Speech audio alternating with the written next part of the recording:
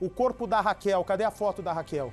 Infelizmente, o corpo dessa jovem mãe de três filhos foi encontrado. Bernardo Armani está ao vivo no local onde está o corpo ou de onde o corpo foi retirado. Bernardo, tá me ouvindo ou não, Bernardo? Acho que o Bernardo perdeu a comunicação comigo, não é isso? Eu tenho as imagens já gravadas de lá. Das imagens gravadas, por favor, do local. Aí está. São imagens exclusivas. Carol, atenção, Edu. Atenção, Brasil, você que está chegando agora no nosso Cidade Alerta.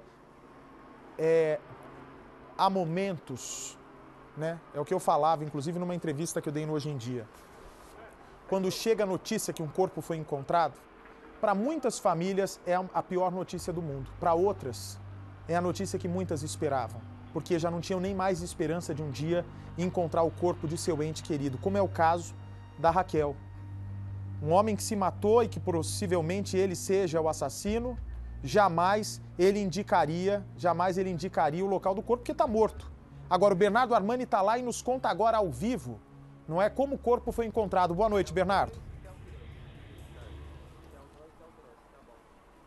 Boa noite, Bate. Boa noite a todos. Olha, estamos em uma área de mata aqui em Guarulhos. Essa estrada de terra que passa bem próximo ao Rodoanel, bem ao lado, e liga até o município de Mairiporã um local bastante ermo, poucos carros passam por aqui, há pouco motos, um grupo que fazia motocross também, ou seja, muita terra, muito barro. Viatura da Polícia Militar aqui acima, vou mostrar para vocês também aqui embaixo. A Polícia Civil também chegou ao local, já fez o registro de fotos e agora estão aguardando a chegada da perícia.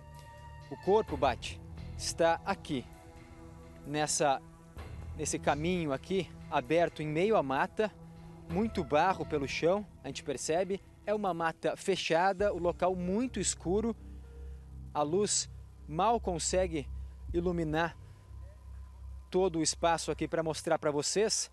E o corpo, a gente vai parar por aqui, que ele está atrás dessa árvore aqui e dessa vegetação. A perícia vai chegar vai analisar aqui o corpo no local, pois os policiais civis que fizeram esse registro fotográfico, inclusive, disseram que o corpo está com as costas para baixo. É o corpo de uma mulher, já foi identificado por um familiar, um tio que esteve aqui e reconheceu como sendo a Raquel mesmo, Bate.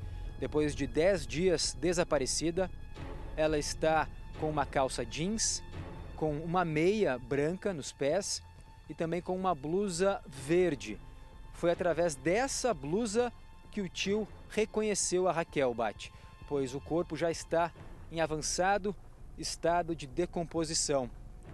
E esse local aqui fica a 4 quilômetros da casa onde a Raquel e o Bill moravam. Na última sexta-feira, o Bill, que também estava desaparecido, sumiu no mesmo dia em que a Raquel foi encontrado morto, a apenas 5 quilômetros da casa onde eles moravam, onde eles viviam. E ele tirou a própria vida, é o que tudo indica, segundo a Polícia Civil. Estão chegando mais viaturas aqui, bem nesse momento, a gente só consegue ver por causa do giroflex, do highlight das viaturas um breu aqui muito escuro.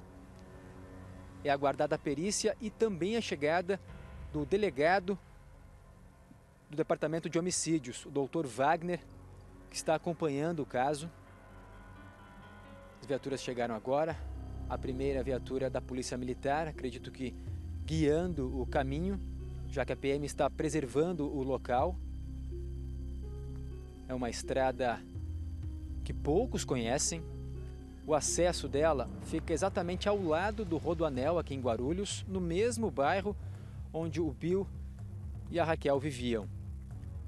É uma estrada extensa que liga Guarulhos até o município de Mairiporã. Há pouco, alguns vizinhos da Raquel também estiveram aqui. Fizeram questão de vir ao local, pois não acreditavam na notícia que haviam recebido.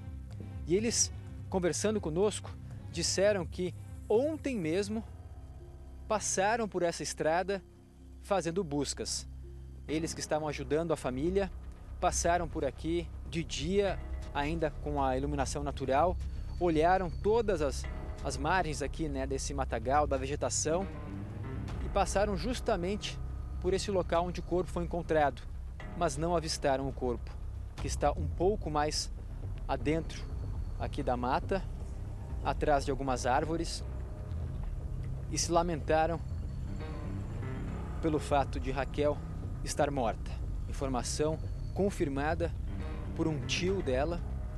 A gente não sabe como as crianças receberam essa notícia, já que Raquel e Bill tinham três filhos que ainda tinham um pouco de esperança de encontrar a mãe.